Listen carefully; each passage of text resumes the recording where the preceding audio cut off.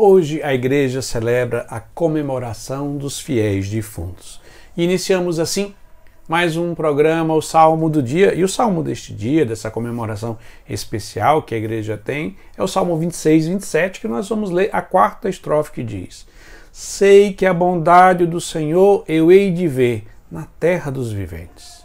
Espera no Senhor e tem coragem. Espera no Senhor. Sei que a bondade do Senhor eu hei de ver na terra dos viventes.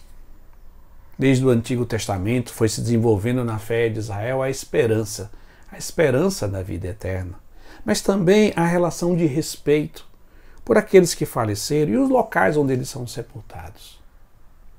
E na igreja vai desenvolver essa celebração muito especial, aonde nós rezamos pelos nossos entes queridos, aqueles que nos precederam, que o seu corpo foi depositado na terra ou até foi cremado, e que nós entregamos a eles a Deus, a misericórdia divina, com firme confiança na vida eterna, como diz o salmista, sei que a bondade do Senhor eu hei de ver na terra dos viventes.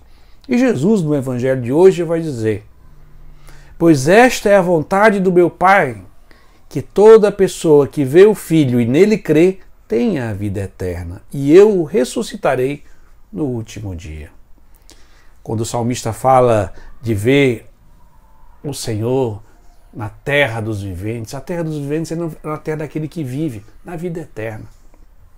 E Jesus no Evangelho vai dizer que a vida eterna é crer no Filho que foi enviado por, pelo Pai. Nós cremos no mistério da Santíssima Trindade, um só Deus, em três pessoas distintas: o Pai, o Filho e o Espírito Santo. O Pai envia o seu Filho Jesus, que assume a nossa natureza humana. E o Verbo se fez carne e habitou entre nós, assumindo a nossa natureza humana, para morrer numa cruz e ressuscitar, para nos comunicar da vida eterna. Crer em Jesus é viver da vida eterna, que é a própria pessoa de Jesus Cristo. Por isso que já nesta vida, quando nós cremos, aderimos a Cristo, nós começamos a partilhar da vida eterna, que é próprio dele próprio.